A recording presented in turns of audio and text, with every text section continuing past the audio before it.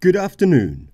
I'm Spokes Mann, and this is official news, incorruptible reporting in no way influenced by the hidden tentacles of political power.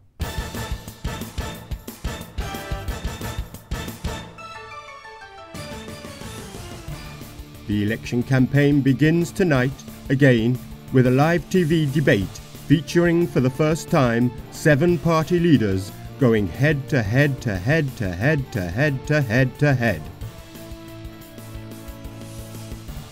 We can expect to see lively and vigorous debate within the strictly limited spectrum of opinions acceptable to the tentacles of power, and of course, only casual dismissal of all opinions outside those strict borders. Conservative leader David Cameron will claim it's essential the country sticks with his long term economic plan that has seen the rich grow wildly richer with free quantitative easing money, while the masses suffer with wage collapse, welfare cuts, and privatisation of essential services. Labour leader Ed Miliband will agree with Cameron that the deficit must be cut, services must be slashed, and all without raising taxes. Only also a mansion tax and a bacon sandwich.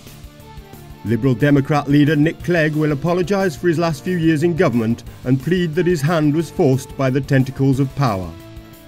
Then he'll ask to be allowed to continue doing that.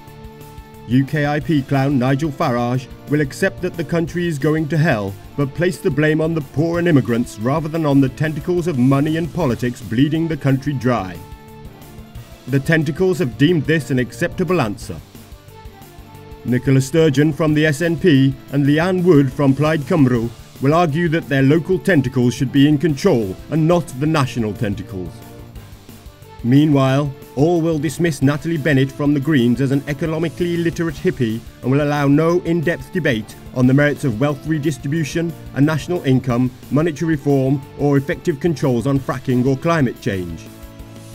Despite this seven way debate, at the end of the election campaign, either David Cameron or Ed Miliband will be Prime Minister. This is not a damning indictment exposing the tentacles' control over our democratic process and is certainly no cause for concern. Surely we can all agree that there is nobody at all in the country who could do a better job than one of these men.